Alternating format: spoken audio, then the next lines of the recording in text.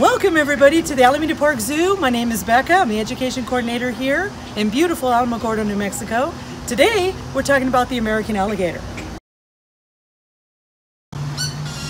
The American alligator actually gets confused with the crocodile quite a bit, but if you look at their face, you can tell the croc has a longer nose and is a different color. The American alligator is usually bluish gray, and uh, they have between 74 and 80 teeth in their mouth at any given time.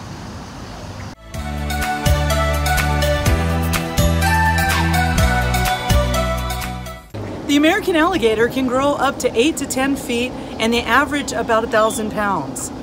And yes, you were wondering, what do they eat?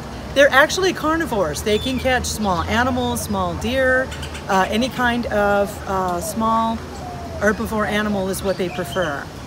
And here at the zoo, our alligator names are Rocky and Lilith. They're both female, and yes, females do tend to be aggressive towards each other because they're territorial, so we have to alternate them.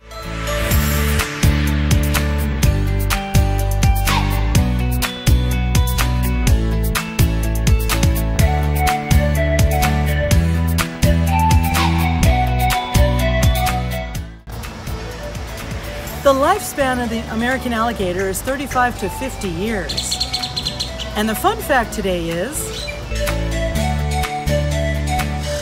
you wanna know something cool about the alligator? They can actually chase you up a tree, and they do run very fast.